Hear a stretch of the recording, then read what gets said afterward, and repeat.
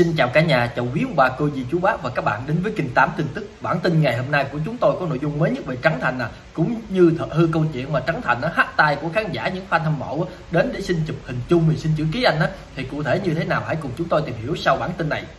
Thật hư câu chuyện Trấn Thành hát tay chảnh chẹ khi được khán giả xin chụp hình chung. Đoạn video ghi lại khoảnh khắc Trấn Thành hát tay một khán giả đến xin chụp hình chung hiện đang gây tranh cãi dữ dội trên mạng xã hội. Mới đây, một tài khoản TikTok đã đăng tải một đoạn video ghi lại cảnh Trấn Thành hắt tay thái độ kỳ lạ khi có một khán giả nữ đến xin chụp hình. Khoảnh khắc này của nam MC gây tranh cãi dữ dội, một số người còn chỉ trích anh là ồ chảnh trẻ, ích kỷ quá hay thích sống riêng tư không muốn chụp hình với ai. Song vẫn có khán giả bên vực Trấn Thành nói rằng ờ, khán giả nữ này có hành động lôi kéo, sau đó là chỉ là phản xạ tự nhiên của Trấn Thành mà thôi, chứ không có ý gì đâu. Trước những tranh cãi trái chiều này, mạng xã hội xuất hiện tiếp tục những video khác nhằm thanh minh cho Trấn Thành. Theo đó, nam MC vẫn vui vẻ gật đầu chào thân thiết cùng các khán giả nữ trên uh, chỗ khác. Đối với những người khác, anh vẫn giữ thái độ lịch sự hòa nhã mà. Và khán giả N bày tỏ quan điểm như thế này là mọi người nghe đây có hợp lý hay không? Hành động này bình thường khi bị người lạ nắm tay là thôi mà Trấn Thành hắt còn nhẹ đó. Nếu đặt mình ở vị trí Trấn Thành, Khi bị người lạ chạy tới nắm tay, Mình phản ứng có khi còn mạnh hơn. Bởi vì nghe người này nói biết là xạo rồi. Khán giả nữ mà chạy tới mà ở phản ứng mạnh hơn, Im im cho nó nắm chứ ở đó bị đặt nói vậy.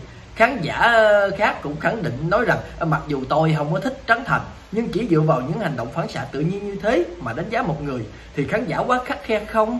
Chuyện gì cũng phải có cái nhìn đa chiều à ngang, Không phải cứ thấy là phán lập tức đâu à rồi, nói chung là năm 2023 là một năm thành công nhưng cũng vướng nhiều thị phi của Trấn Thành.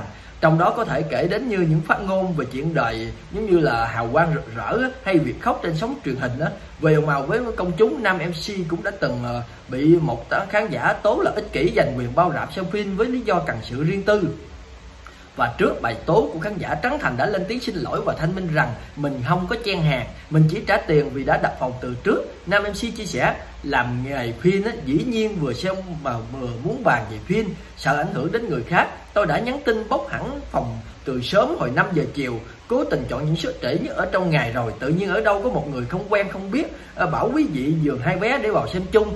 Như vậy ai mà chịu đúng không quý vị?